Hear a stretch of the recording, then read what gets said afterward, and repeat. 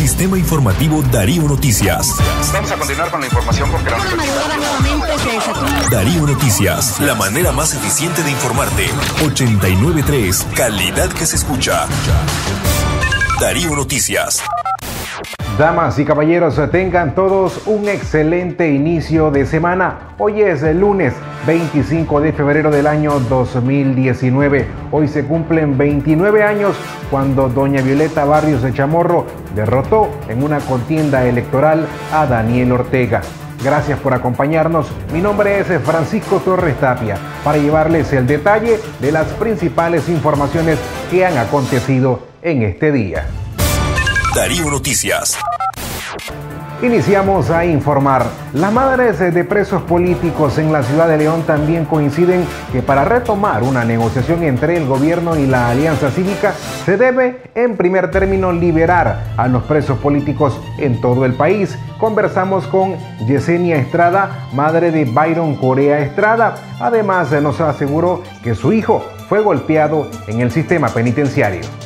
Bueno, estamos preparadas para esperar el día miércoles 27, que es la reanudación del diálogo. Y en primera agenda lo que nosotros pusimos fue la liberación de los presos políticos. Con presos políticos no se puede dialogar, con exiliados tampoco se podrá dialogar, con la sangre de los muertos, la sangre de los muertos no se dialoga. Doña Yesenia, eh, hace poco nos dimos cuenta, usted también hizo un post en su perfil de Facebook que su hijo Byron fue golpeado. Cuéntenos, eh, descríbenos cómo fue esa. Bueno, hubo un enfrentamiento en la cárcel La Modelo de Tipitapa, donde están ellos en la galería 16.1 y 16.2, entre antimotines y los muchachos de secuestrados políticos. No le llamemos reos políticos, llamémosles secuestrados políticos porque son secuestrados por el gobierno. Hubo un enfrentamiento entre ellos donde entraron más de 40 perros caninos y más de 400 y 500 antimotines a enfrentarse con los chavalos solo por tener y hacer de las bolsas que llegan de las alimentaciones azul y blanco hicieron banderas y, y cosas patrias pues. Artículos patrios como banderas, lapiceros, pulseritas y así fue donde el señor Marlon Mayorga, que era el de la galería, el responsable de galería, él eh, llegó a quitárselas y les echó a los antimotines y a los perros caninos. Así también participó ben, Venancio Alanís, que es el, de, el director de la modelo. ¿cómo está el estado de salud de Byron? Bueno, mira, están golpeados, los chavalos están golpeados todos. Byron está golpeado en el costado de sus costillas, donde decimos su costado en la costilla Ahí está golpeado. Levi está en máxima seguridad en la 300. Mm, Luis Quiroz está muy golpeado, arañado, lo arrastraron. Darío Noticias. Gracias por informarse con nosotros en Noticias Live. La Comisión Permanente de Derechos Humanos, a través de Marcos Carmona, denunció esta tarde sobre la huelga de hambre a la que se ha sometido el periodista y director de 100% Noticias, Miguel Mora. Escuchemos las declaraciones de Carmona.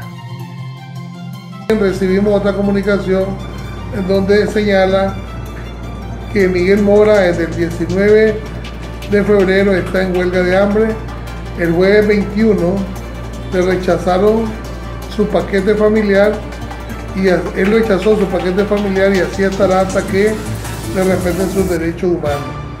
Que puedan ver, que pueda ver a su esposa con su visita conyugal, además de la que pueda ver a su abogado, denuncia de Miguel Mora. Darío Noticias. Verónica Chávez, esposa del director de 100% Noticias, Miguel Mora, denunció también ante la CPDH que solamente una vez desde que fue detenido su esposo le han permitido visita. Y esta es una de las razones por la cual ese Mora se ha sometido a una huelga de hambre. Esta es la denuncia que hizo la también periodista.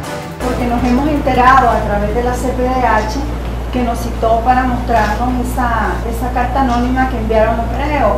Y efectivamente pues pudimos comprobar que ahí en uno de los párrafos, eh, en el caso específico de mi esposo, se menciona que él inició la huelga de hambre el 19 de febrero. Estamos hablando de que a esta fecha Miguel ya lleva seis días y pues estamos preocupados, ¿verdad? Porque lo que puede estar eh, pasando con su, con su salud.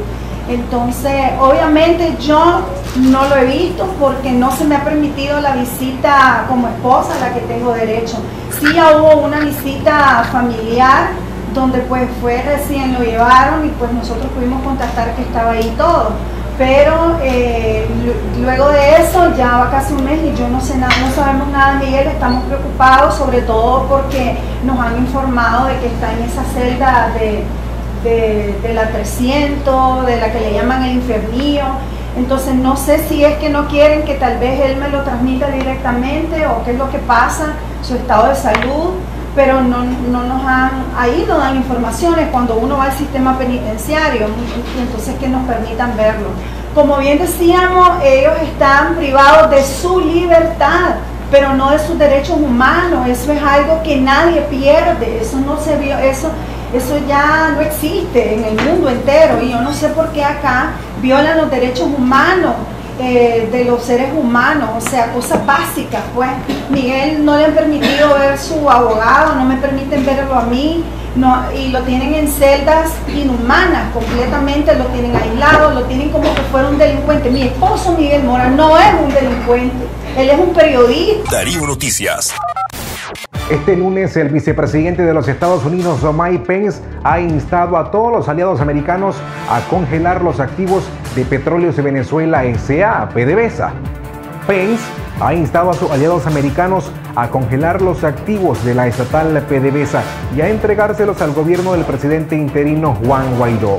Pence ha hecho esta petición en el llamado Grupo de Lima, reunido este lunes en Bogotá, Colombia, para buscar soluciones al conflicto venezolano. En esta reunión también ha participado Juan Guaidó, quien es reconocido por medio centenar de países como el presidente interino de ese país. Darío Noticias. A esta hora hacemos un repaso a través de las redes sociales. En Twitter, el senador norteamericano Marco Rubio ha respondido al diputado chavista Diosdado Cabello, quien la ha arremetido en contra de los aliados de Venezuela que intentaban ingresar la ayuda humanitaria el pasado 23 de febrero. Rubio ha posteado tres imágenes en el que hace referencia a tres dictadores, entre ellos Manuel Noriega en Panamá. El primer post que ha hecho Rubio es sobre Manuel Noriega, el dictador panameño. En una de las imágenes aparece el dictador con un machete en la mano, acto que era típico en él en la forma en cómo desafiaba al gobierno de Estados Unidos. En la otra aparece con un cartel de prisionero cuando fue llevado a una cárcel en la Florida. El siguiente post que ha hecho el tenador tiene que ver con Muammar Gaddafi. La historia tuvo un final diferente. En la primera foto que publicó Rubio se le ve al dictador sonriente y en la otra ensangrentado el día que fue herido por un bombardeo de la Organización del Tratado del Atlántico Norte y luego asesinado por los rebeldes libios.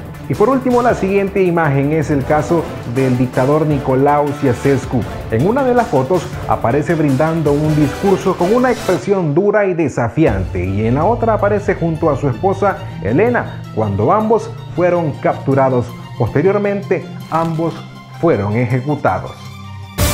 Darío Noticias. Le invitamos a estar pendiente a través del sistema informativo Darío Noticias porque mañana Estados Unidos ha convocado a una reunión urgente para tratar el tema de Venezuela en la Organización de las Naciones Unidas. Es todo lo que tengo que informar. Mi nombre es Francisco Torres Tapia. Les invito a ustedes a que le den me gusta, a que comenten y a que compartan nuestra transmisión en vivo. Y les invito también a las 6.30 de la mañana a una nueva edición de Noticias en la mañana. Es todo por mi parte. Tengan buenas noches. Darío Noticias. Sistema informativo Darío Noticias. Vamos a continuar con la información porque la Darío Noticias, la manera más eficiente de informarte. 893, calidad que se escucha. Darío Noticias.